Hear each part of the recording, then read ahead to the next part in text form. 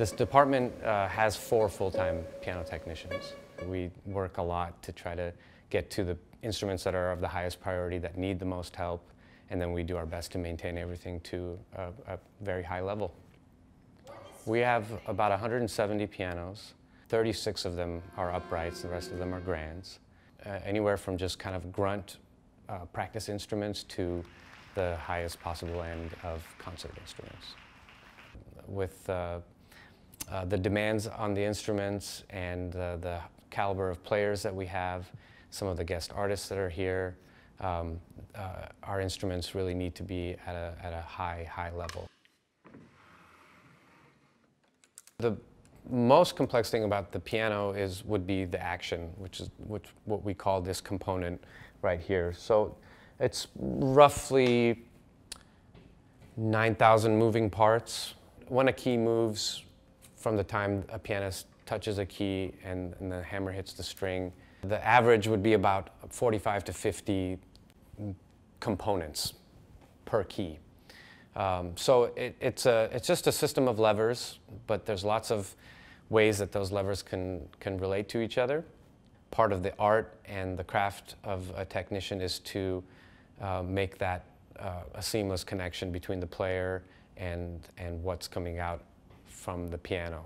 And a piano action can be extremely clunky and noisy and feel horrible for a pianist, or it can be the most perfect tool for musical expression. And that's almost entirely uh, related to how good the piano technician is and how well they're doing their job. So this is just a, a, a little cutout, a side view, profile view of a piano action. Um, so we use this as, as a teaching diagram and also uh, uh, for demonstration of, of action regulation and all the different uh, points that the piano can be adjusted and uh, what, what it really happens when you play a key with force and it comes up and hits, the hammer comes up and hits the string. In a typical situation, we'll bring an action like this down to the piano shop and maybe we'll take it all apart and we'll clean it and lubricate, make sure everything is is base on a baseline very uh, clean and, and working uh, as well as it can. And then we start doing some of the finer adjustments to it, making sure that, let's say, all the hammers are in, in a straight line, um, making sure that as they come up and go down, they do that in a straight line so that they're not coming at angles.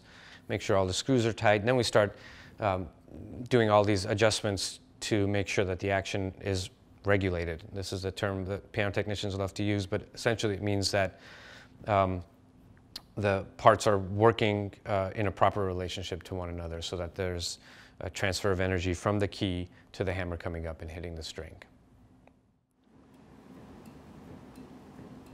If you look inside of a piano, you can always see the hammers, and obviously everybody always sees the, the front of the key, but uh, this is all the stuff that you, you don't see with your naked eye. So the key stick is actually quite a long piece of wood. It's not just that little portion that you would see if, if it was blocked by the fall board.